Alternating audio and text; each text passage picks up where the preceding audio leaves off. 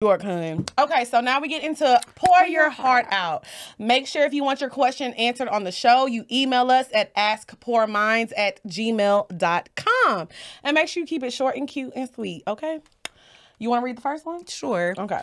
I have this family member that I was slash am close with. Every time I'm interested in a guy, she tries to find out who they are and then starts talking to them. There's a coworker that I'm really interested in, and we've been talking since I started working there. But I've been nervous to take it a little bit further since I got out of a toxic relationship not too long ago my family member who is supposed to be my sister calls and tells me that she has found him on social media and proceeds to add him then tells me you're too nervous to take it to the next level but i will What? now I'm a no, I'm not a confrontational person because I know my anger. But my mom said I should tell her about herself because she's trifling. I feel like she's a grown ass adult, 30 by the way, and she knows what she's doing and I shouldn't have to tell her what she's doing is wrong. What do you guys think I should do? It ain't nothing to Beat cut that, that, bitch bitch ass. I just said cut her off. You want her to fight her? Square up hoe. Well, I wouldn't fight her because it's family and obviously y'all have, but I would definitely cut her off because you know what this sounds like? It sounds like she has no self confidence, but she gets her confidence out of fucking with niggas behind your back and like trying to make them talk about you or something. Like, oh, I'd rather fuck with you than fuck with your old cousin or your sister or whoever she is to you. So this girl has self esteem issues, obviously. Because let me tell you something. Once Drea put her pussy lips on a nigga face, you bro. Like, you not in even in the I want to fuck you category. And that's on period for real. Like, so I feel like her doing that it shows a lot about her confidence, and she has something going on within her. So I think you definitely need to just cut that off. Yeah, and fuck the fact that she your cousin, girl. That don't mean she. I done cut a few cousins off in my day. I done cut a lot of people off. Cousins, friends, whoever. It don't matter. Yeah. It don't matter because people be trash ass people. so. Yes, amen. All right, question number two.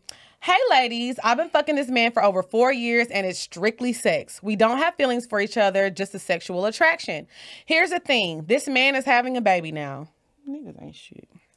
I'm not upset, but what's got me feeling some type of way is the way he hasn't brought it up to me. Part of me thinks it's none of my business, but the other part of me is saying, out of respect, he should tell me. I thought about confronting him on some, so you wasn't gonna tell me you were having a baby type shit. But then if I do that, I'm gonna have to stop fucking him, and he has the best dick I've ever received. How would you handle this situation? Would you not bring it up and act like you don't know or confront him? P.S. North Carolina don't have a lot of good dick niggas. First of all, um, uh, human niggas don't have a lot of good dick niggas. It's not just Not human. I'm just saying it's not like only niggas in North Carolina don't have good dick. Niggas don't have good dick everywhere. Period. So, um, but you said it's just strictly sex, baby. That's none of your business. You decided to get involved with a man and make it sex only. I, when I say sex only, I don't care about if your grandma died, if your g- girlfriend doing this, do I don't care about none of that. Just drop off the dick. So if this is just dick, hi- him having a baby is none of your business. I agree.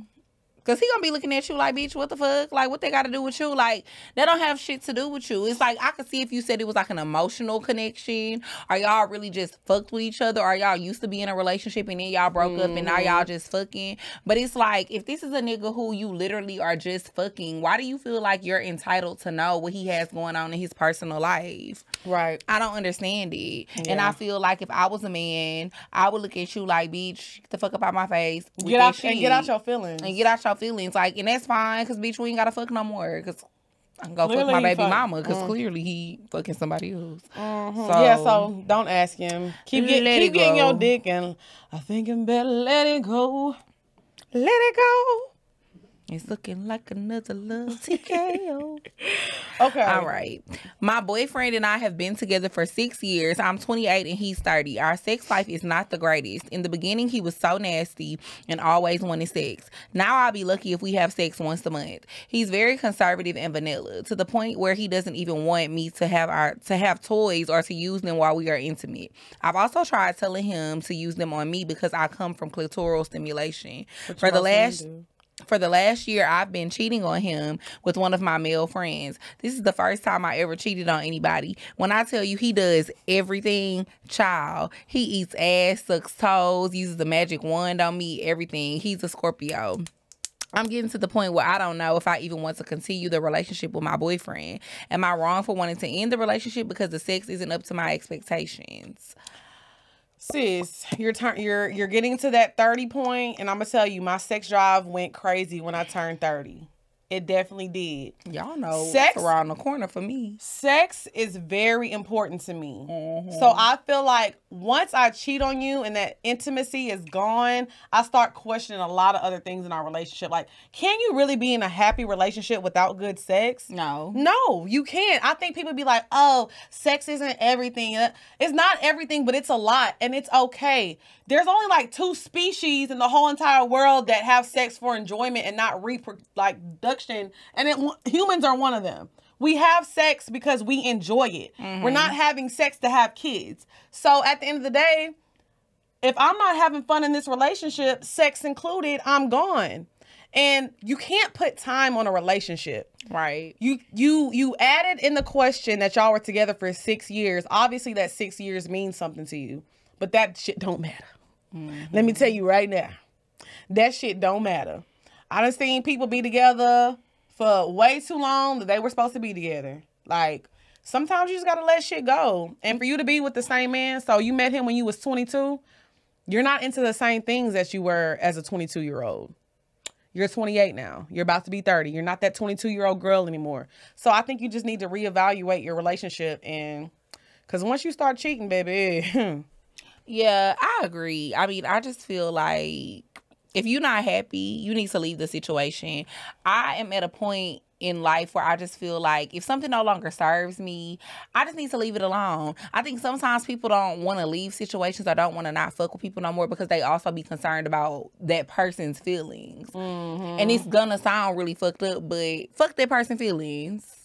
It's about how you feel. And not only that, I think a lot of people need to realize like monogamy is really tying you motherfuckers down. Like if you're married, that's different, but y'all be dating and in relationships and be all for monogamy. It's like, are you crazy? I agree with that as well. but- But, uh, we, we not- but we also know that everybody doesn't think like us when it comes to that. So I mean that's fine. But I like I said, I think sometimes women do themselves a disservice. Men too. We're not gonna just act like it's only women. Men and women do their, themselves a disservice by dating people and staying with them just because Men they, don't do themselves a disservice. Men- men be out here. Men do be yeah, but you do have like a good handful of men who do be just staying with women because they don't want to hurt their feelings. Oh yeah, but they still be. That's what I was thing. saying. Yeah, they probably still be doing their thing, but they also just they're not hundred percent happy because they, yeah they doing their thing on this side, but they still with you and they really don't want to be with you. Right, They just staying with you because they don't really want to hurt your feelings for whatever reason. Maybe mm. it's that y'all have a child together, you know, whatever. Who mm-hmm. knows? But anyways, back to what I was saying. Leave that nigga if you're not happy. Don't Let just that nigga go. At the end of the day, the only hap- the only person feelings that truly really matter It's is your own. You know what I Who said mean? shit drain the cold with three E. Yeah, and sometimes you gotta do shit and it might hurt another person. But as long as you're not being intentionally hurtful, Right. then I like one thing about me, I can live with that. As long as I know I'm not intentionally hurting somebody, Mm-hmm. I can really live with knowing that I, I probably hurt your feelings by stop fucking with you. But I had to do it for me.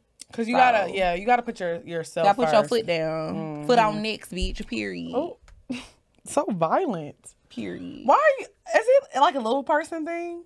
Wait. Like little people are so violent. I'm not violent. Mm. You pushed me out of your home.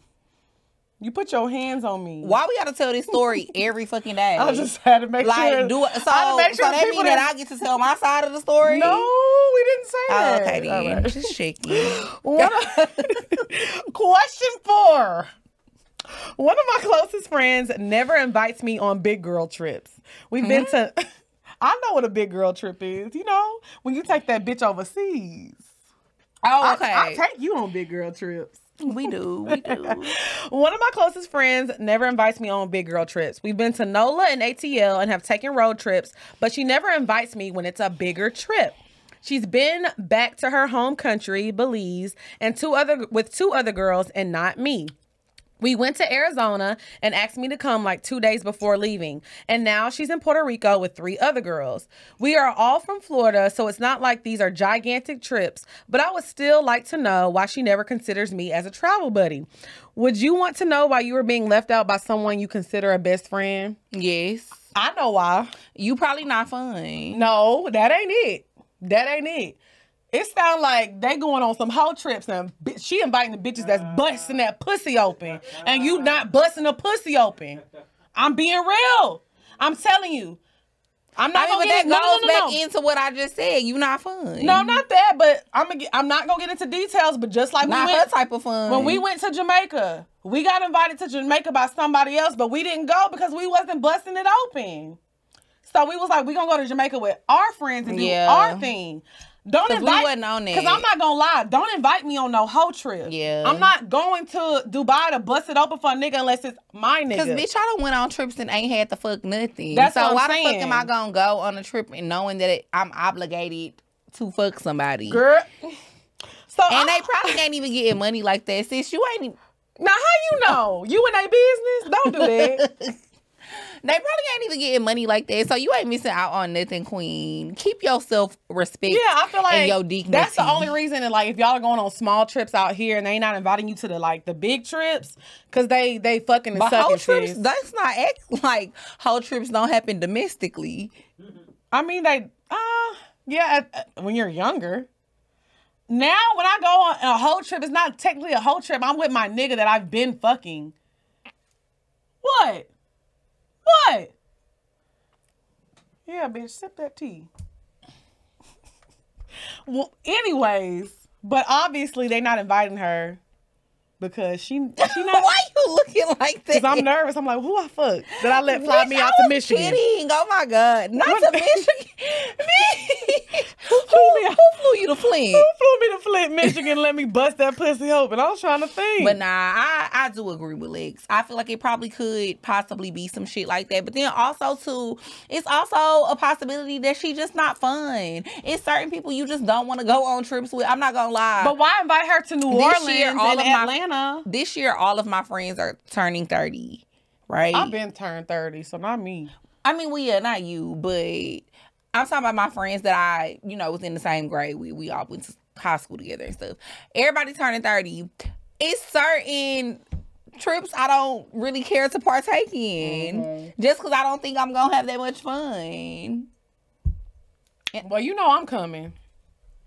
Well, me- don't have to worry about that with Big Well, Mama. I mean, of course, bitch, you fun, but I feel like that's why we both get invited places all the time Yeah. because people know we're gonna be the life of My the party. friend We're gonna have so much fun. she does not go on a trip without me. Yes, Like, no. my friend Jordan is like that too. Jordan do not want to go on no trips without me because he know like I'm gonna turn up, I'm gonna have Mm-hmm. fun. So I feel like It's either the one of the two. yeah, it's one one. of the two. So, you yes. boring or Make sure make some hoes.